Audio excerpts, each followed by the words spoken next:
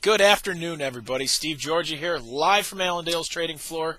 It is July 20th, 2010. Uh, markets today, we had a uh, an early push lower in the grains, and we kind of sat there and more steady into the close. But corn ended up seven and a half lower after a big slide yesterday. Continuing that pattern here today, seven and a half lower in the September contract. December down six and a half cents.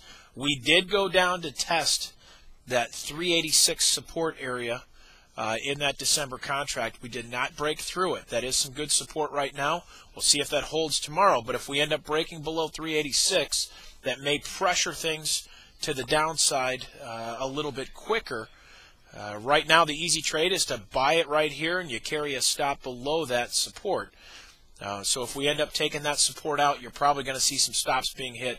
Could trigger us down here a little bit quicker.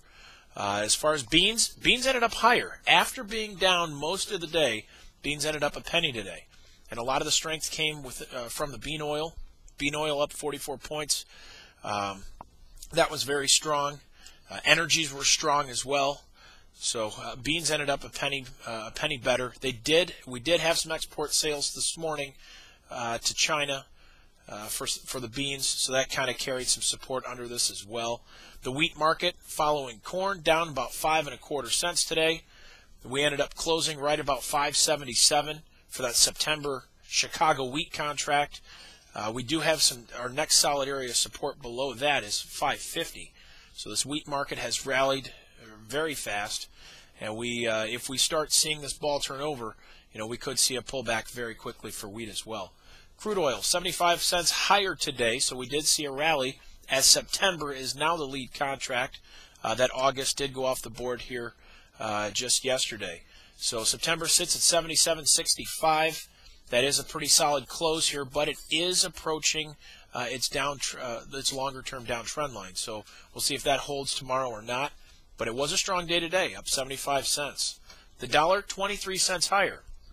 It's been a while since I've been on here saying that the dollar was up, but we did find a recovery, uh, up 23 cents. Uh, we do have some pretty decent resistance right now, sitting at that 84 level, almost 100 points higher than where we're at right now. Currently, prices are sitting at 82.93, so uh, it, we are right up against that 83 area. Uh, next upside could be almost 100 points higher if we see more bullish uh, news come out here for the dollar. Uh, metals today, big turnaround day. When I sat down this morning, metals were actually lower and making new weekly lows. Uh, we did end up $10 higher for gold.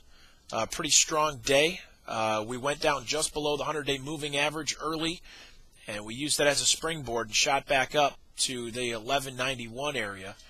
Uh, so we're back up above that 1190. Now, upside resistance at this point up near that 1219 to 1220 area. We'll see if we can get some more uh, some more strength tomorrow. But today's turnaround was actually a very good, uh, very positive day on the chart. We'll see if we can carry that into tomorrow as well. Silver up 16 cents. Uh, we had livestock uh, unchanged in the fats. Feeders were up slightly here today. Uh, but the big movement in the livestock came from the hogs. Uh, you did have hogs down about $1.60 today more of a technical slide than anything. As we pushed into some new lows, I think we hit some stops there and pushed the hogs down rather quick. Um, you know, recently when you see these big moves in the hogs, you find the next day they do recover pretty quick. But I believe that this is more of a technical move today in the hogs, uh, and we have seen some some pretty significant. Uh, uh, well, we took out some pretty good support areas there as well. So we'll see if it holds for tomorrow. Uh, give us a call here with any questions you may have, 800 262 7538. Check us out on the web, allendale inc.com. Uh, you can find most of this information in our research.